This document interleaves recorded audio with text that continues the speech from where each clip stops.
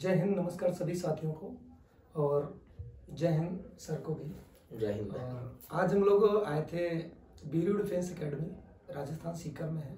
और अभी हम लोग काफ़ी सारे जितने भी हैं कोचेज जो आप लोगों ने आंदोलन में देखे थे सभी कहीं ना कहीं अलग जाके स्टेटों में और डिस्ट्रिक्टों में जाके बच्चों से संपर्क कर रहे हैं और उन चीज़ों को जानने की कोशिश कर रहे हैं। जैसे आंदोलन में हम लोगों ने अपना वीडियो देखा होगा सभी लोगों ने। कि राजा सर ने एक महीने का बोला था कि एक महीने में नोटिफिकेशन जारी होगा। तो जितने भी कोचेज हैं सबके पास संपर्क करने के लिए एक दूसरे से सारी चीज़ें जुड़ी हुई है।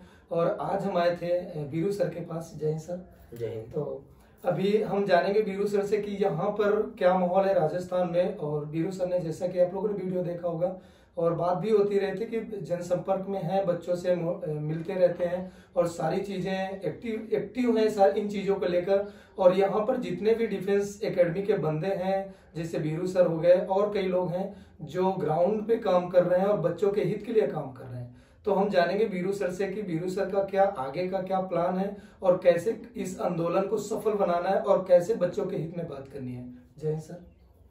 ऐसा है कि जो पहले जो पूर्व में दिल्ली में गलती हुई है जो अपनी जूम पे मीटिंग हो रही थी तब भी मैंने कहा था कि 10-20 संचालक जितने भी होते हैं जैसे वहाँ पे सैतालीस संचालक थे अगर एक एक संचालक 20-20 बच्चों को लेके भी आता तो आप सैतालीस के डबल करके देखो 470 प्लस 470 होते हैं।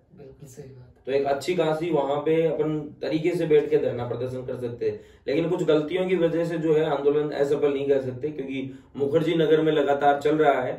अब बात रही दोबारा की तो जनसंपर्क ऐसा है कि सिक्कर में रैली यहाँ पे कर रहा हूँ तो वो दायित्व मेरे पास है। झुंझुनू का दायित्व एक अलग भाई है, उनके पास है।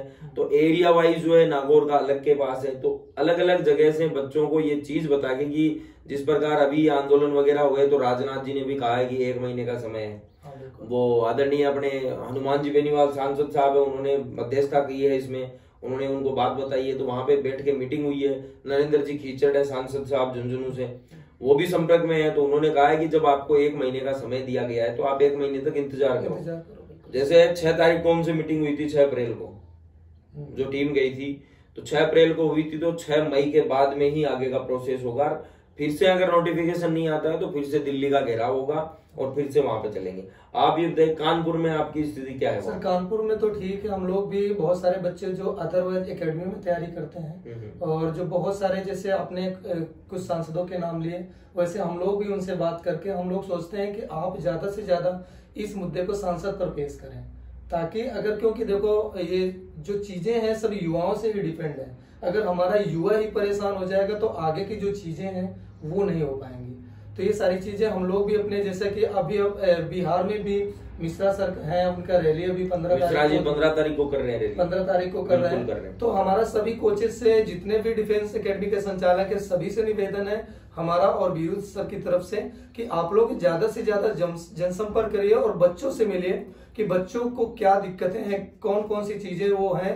तो बच्चों से अगर वो सारी चीज़ें जानकारी लेंगे तो हम ग्राउंड पे जो वो सारी चीज़ें खुल कर आएँगे और उस पर काम करने में थोड़ा अच्छा लगेगा। तो आज हमें बहुत ही अच्छा लगा क्योंकि हम बीरू सर के आए हुए हैं और सारी चीज़ें हमने देखी यहाँ पर बहुत ही अच्छा है और पूरा कैंपस भी देखा और मैं आप लोगों को एक चीज़ बताना चाहता हूँ कि बीरू सर का जो नेचर है मुझे बहुत ही अच्छा लगा और सर मैं आपका बहुत कल हम लोग शाम को आए थे और जो सारी चीज़ें हमारे साथ बहुत अच्छे से और रात रात तक तो हम लोग बैठे ही रहे ऐसा कोई ये नहीं है कि कहीं कहीं पे हमने देखा बहुत सारे ऐसे होते हैं लोग कि बस मेहमान आए बैठा दिया भिजवा दिया, दूसरे से नहीं, ऐसा कुछ नहीं है। सर, हमको खुद लेने गए। कम से कम यहाँ से दो किलोमीटर दूर लेने गए और यहाँ पर हमारे साथ भी अभी भी रहे और रात तक हम लोग बातें करते रहे। बस इसी बच्चों के भविष्य के बारे में कि कैसे से क्या होना चाहिए।